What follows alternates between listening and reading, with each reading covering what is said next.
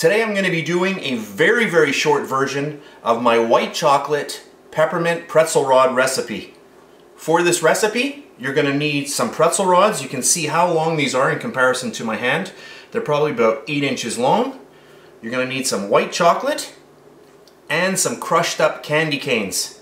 Now in my very long version, which is about 8 minutes long, I show all of this process in a lot more detail, but for this recipe, in this video, I'm just going to do this very quickly.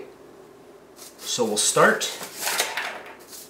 Grab one of your pretzel rods, a little bit of your white chocolate, and I'm going to leave a little bit for a handle.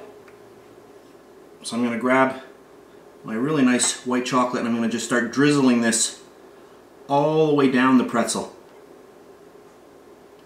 And I hope you try these out. These are really, really good. Okay. Grab your crushed candy canes and just use your fingers.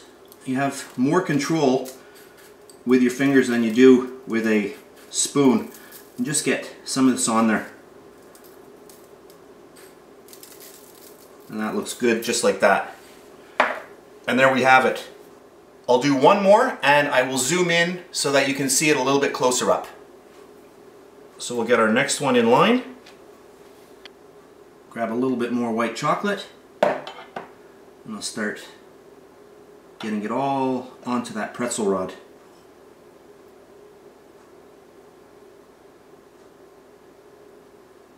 You can also put your white chocolate into a glass and then dip the pretzel rod as well. In my long video I show you doing that technique as well. Grab our crushed candy cane and one last time right on there. And these are really, really good. I hope you try this recipe out. That's it for today. I hope you enjoyed this video. If you did, Please give me a thumbs up, subscribe if you wish. That's it, and I'll see you next time.